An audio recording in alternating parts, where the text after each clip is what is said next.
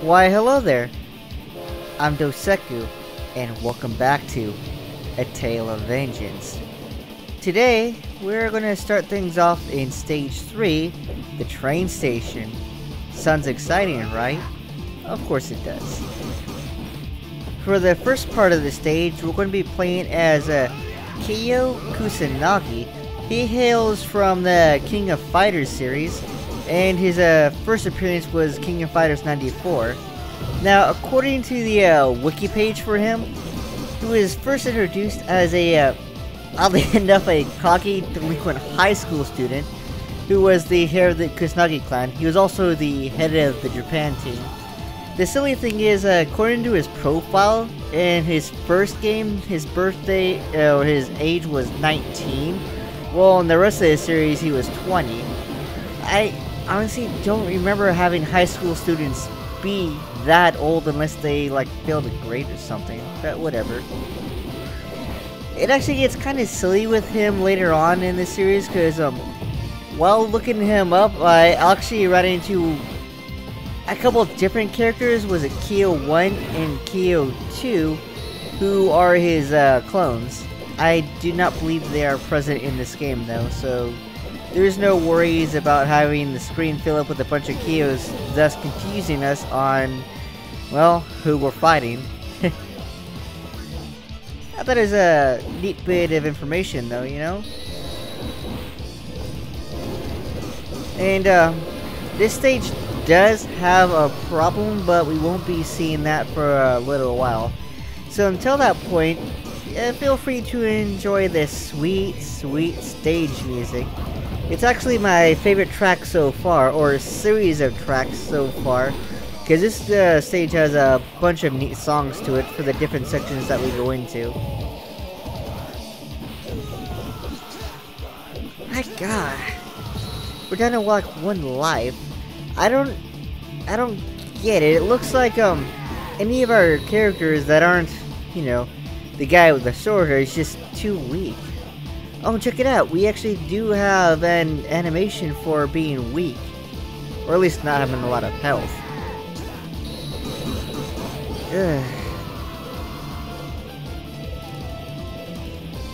Alright, that's enough of that. Let's try... Ah, Maru. This has actually been the best character so far because he has managed to get the farthest with the least amount of deaths. In fact, he still does here.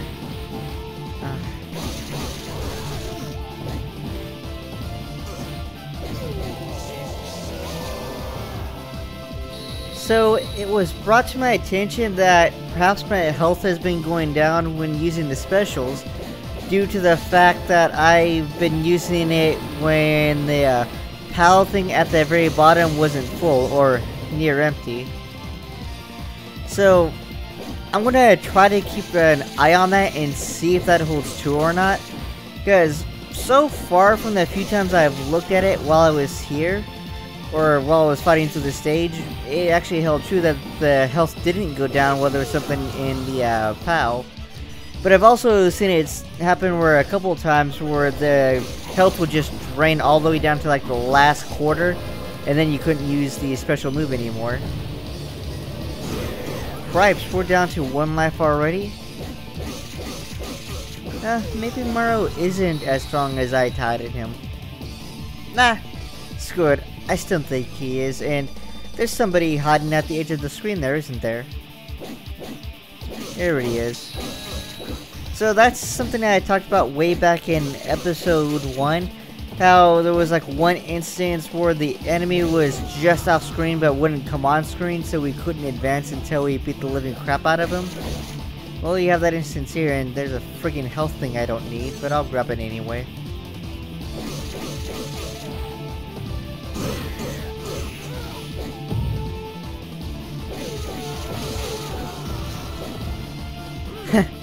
that guy's called Playa. Well, you know what they say. Haters gonna hate, players gonna play.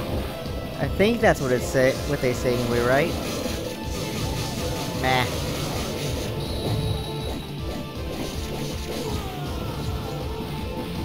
And we got more dogs.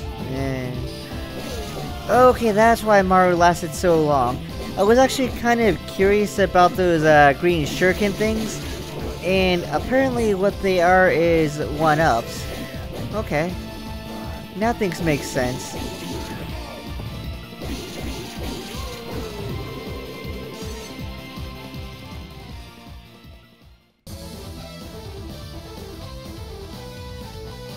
Huh. Yeah, the music's alright here. Oh. Right. Alright, so, welcome to the uh, larger problem of the stage. This is the segment where this game will throw dogs at you like nobody's business. In fact, it will keep throwing a lot of dogs at you throughout the rest of the stage. And they're kind of hard to deal with. They're kind of very hard to deal with. But we're going to try our best here, you know? I won't let things like little dogs like these stop us from advancing into the story.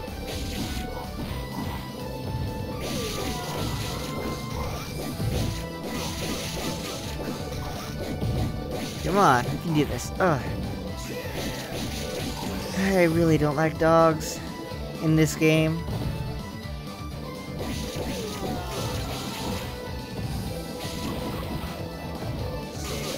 You know, I'm actually wondering, is it possible that a lot of the enemies from this game also hail from King of Fighters? I'm gonna have to look into that. I mean, because they have to come from somewhere, right? And since this game is heavily influenced by various fighter games, it would only make sense that it would use fighting game characters as the general mooks that we have to beat up upon. I was actually kind of hoping a train would come up from that background and become like an environmental hazard. But no. No train will ever come from the background and endanger our character at all. Although I think it would have been cool though. But you work with what you work with, right? And the shadow of the enemy on that makes it look like it's just a matte painting that we're fighting against. Huh. Oh, health! Come on. Yeah. Oh, that was close. So I'm getting a little better about executing special moves. I still don't know how you do the different sword attacks and everything.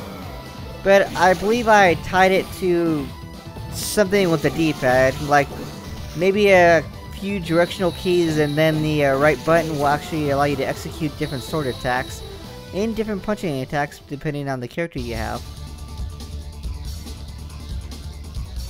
Up, oh, King of Fighter.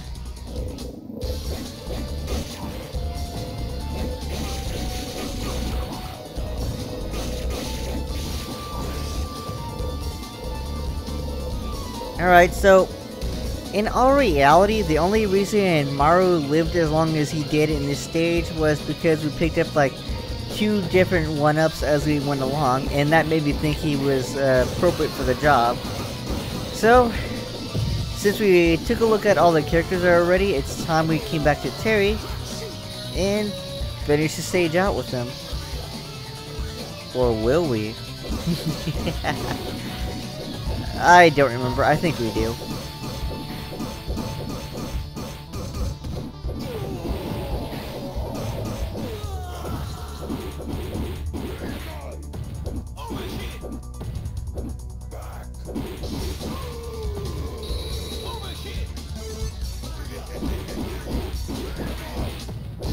Oh, check out it, it's Alex. So, Alex here is kind of a mini-boss. Once we get rid of Hugo, you'll see that Alex takes a Is that Balrog? Oh, no matter, he's dead. Yeah, Alex is very much a mini-boss here. Look how little damage we do to him compared to everybody else.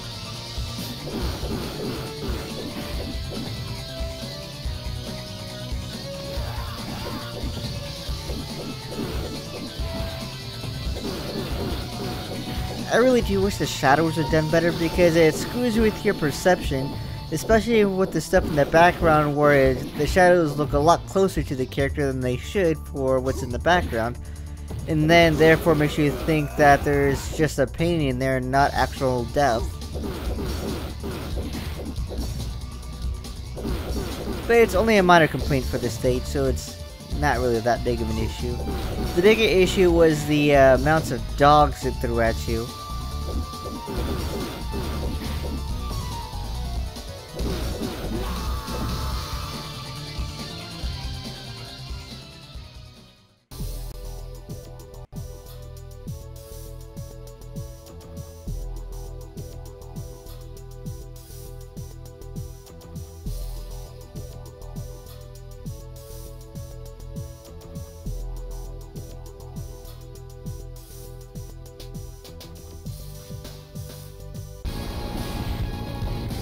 Alright, so our boss for today is Iori. He too hails from King of Fighters. In fact, his first appearance was in King of Fighters 95. Apparently, he's a recurring character that also acts as a um, rival to Kyo, who we played as in the first part of the stage.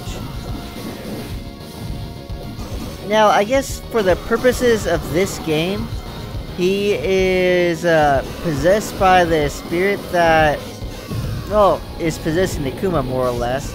Uh, Ryu will talk about that after the fight's over.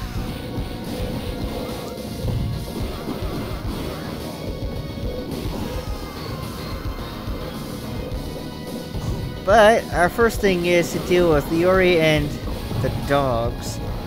Uh,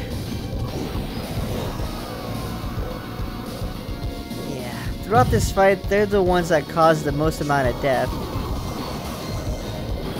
And once we get rid of them though, we should have a much easier time even though there's a metric ton of enemies on screen that try to keep you from hitting the boss.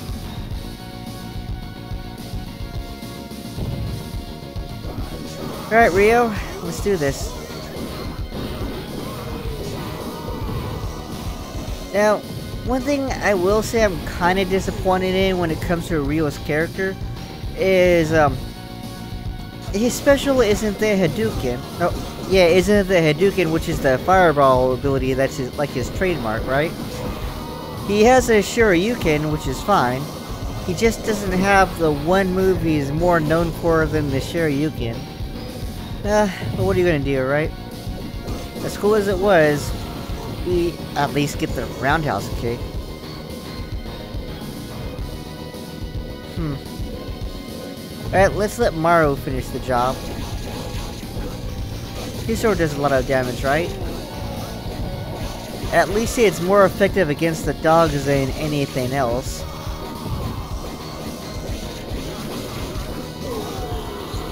And we're done.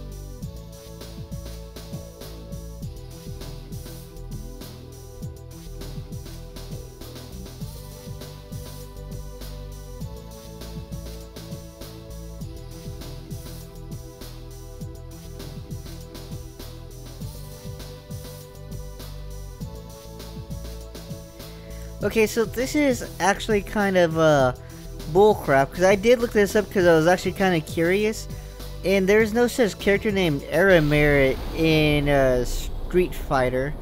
In fact, what made Akuma what he was is his uh, fighting style, because he wanted to delve into the darker start of the uh, darker side of the fighting style he was using, which was uh, Satsu no Hado. It's kind of what Ryu has since he was taught by uh, Gouken, who was uh, Kuma's brother, who was also trained in the Satsu no Hado, but didn't believe in the uh, violent side of it and tried to repurpose it more or less. So, Again, Ryu has pretty much the same thing Akuma has, but he's more or less trying to suppress it so he doesn't become like Akuma. Uh, anyway, he should know better. That's all I can say to that, because he knows what made Akuma what he was. And it isn't a possession by a demon. So this is a good place to stop. I thank you guys for watching. And join me next time as we see if Maya will be our friend or foe. I'll see you there.